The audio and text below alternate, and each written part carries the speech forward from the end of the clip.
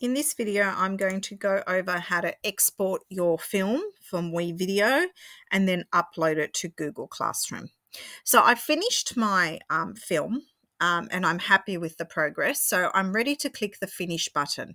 And you can see in the top right hand corner over here, there's a big blue button called finish. So I'm going to click on that finish button and it will take me to the finishing window. And this is where I get to choose the preferences of how I'm going to finish off my film. So um, you can see over here, it gives me a little bit of a preview um, of what one of my screens will look like. So it's going to look like that one there. And then over on the right hand side, I get to choose specific information. So in this box here, I can name my finished film or exported film the next box under here which says export i can choose how uh, what format i want to um, export my my film in so it's a film so therefore i want it to be a video so i make sure that this video button is selected Underneath, I choose the resolution. I always go with a high D resolution just as a default. And then finally at the bottom, I choose the destination, which is where I want to export the film to. And I want to make sure, because I want to be able to share this in Google Classroom, that I select the Google Drive icon. So you can see the second icon here is the Google Drive icon. And when I hover over it, the words Google Drive appear. So I'm going to click on that one. Okay, so that once I have all my preferences checked, I can click on the export button. And this will now start thinking about the um, the video um, and exporting it.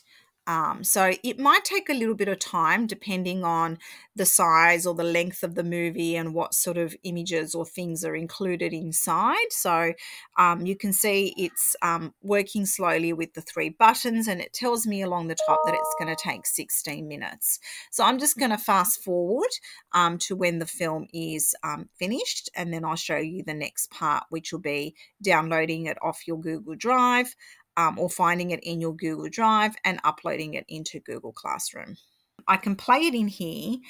I can share this link, but the problem with using the link is the person on the other end who receives the link needs to also be on my school account to be able to access it.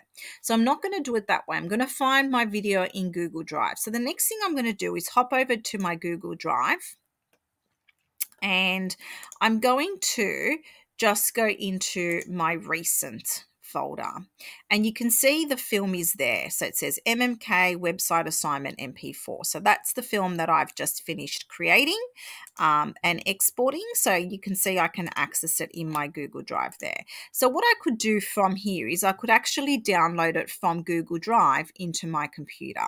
So the way I would do that would be to select it left click and use the download button there. So once I do that, you can see it's going to download it down, down to my computer and there it is there. The next thing I need to do is submit it to my assignment in Google Classroom. Classwork and find my assignment which says add video. Now I'm going to view my assignment, the assignment.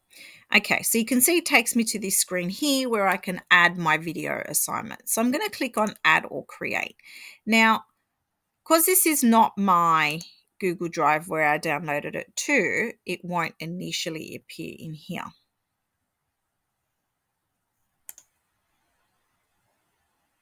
Click add or create.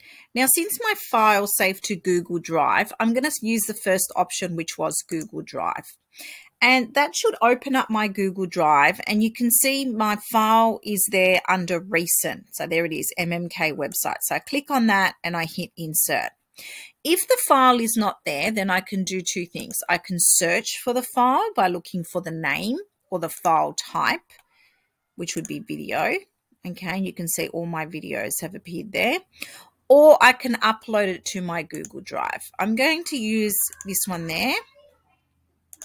And you can see it's inserted my video there or um, uploaded it to my assignment. I can now hit turn in because I'm ready to submit my assignment and then I'm going to hit turn in. And this will turn in my assignment to my class teacher.